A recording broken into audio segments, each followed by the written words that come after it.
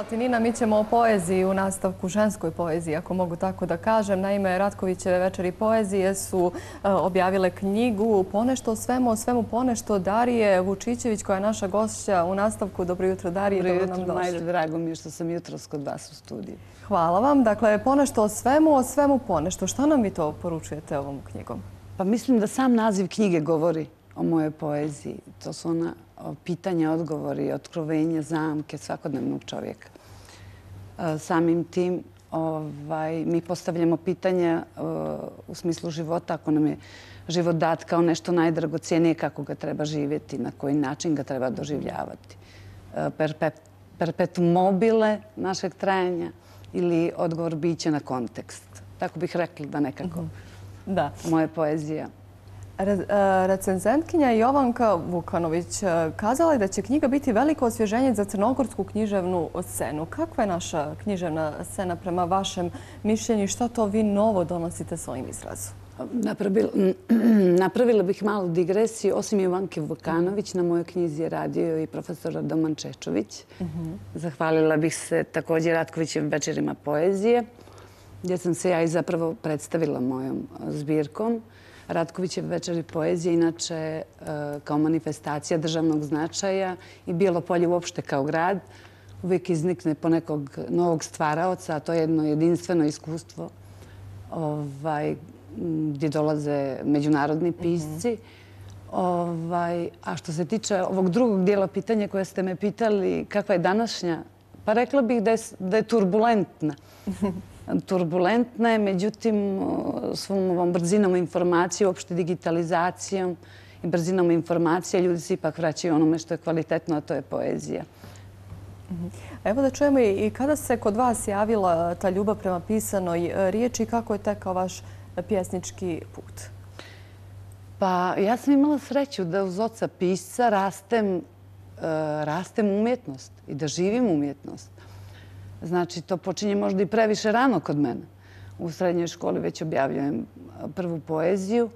Ovaj, ja mislim u svim crnogorskim časopisima, pomenuću neki od njih, stvaranje, list ovdje, omladinski pokret, a kasnije na fakultetu izlazi moja prva zbirka, na kojoj sam također veoma ponosna, zato što su se neke od tih pjesama našle u antologiji savremene crnogorske književnosti kod nas je normalno u porodici bila ovaj, ta pisana reč, tako da je to kod nas prosto onako dio svakodnevice. Dakle, to je bilo i očekivano. Gdje crpite inspiraciju?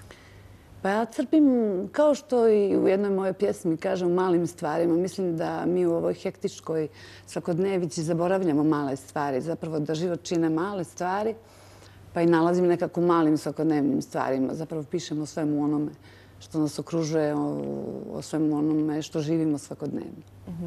Ima li poezija danas publiku? Ko je čita? Pa uglavnom, vjerovali ili ne, e, knjige kupuju žene. Mhm. E, na književne večeri manje više dolaze žene. I to je nekako i neminovnost da su danas sjajni pisci žene. Ovaj, tako da e, ima još uvijek tih entuzijasta među piscima. E, tako da bih ja rekla da su to u svakom slučaju žene i ne samo kod nas, nego i u regionu. Mhm. Osim što ste književnica, bavite se i ilustracijom, pa evo da čujemo, je li zahtjevnije riječima opisati neku misao ili je ilustrovati? Pa znate kako? Ovaj, kroz poeziju uvijek pokazujemo te neke najtanije, najnježnije, da tako kažem, misli, a ilustracija opet, kada uzmete dvije, tri slike, od toga će nastati sjajna priča. Tako da se sve vrste umjetnosti međusobno prepliću. Ovaj, ona nekada u prošlosti nije ni bila ovaj, podijeljena, da tako kažem. A posebno književnost, ona se svakako ovaj, oslanja na, mogu slobodno reći, arsenal umjetničkih sredstava. Tako da kroz ilustraciju ovaj, mogu da kažem da sam na neki način oživjela mnoge knjige raznih stvaraoca, kako u Crnoj Gori, tako i u Sloveniji, Italiji, mm. Španiji i Francuskoj. I kroz ilustraciju lakše percipiramo autorovu namjeru. Uh, ona jako utiče na ljudsku svijest u svakom smislu i ovaj, uh, jednako se izražavam ilustracijom i poezijom.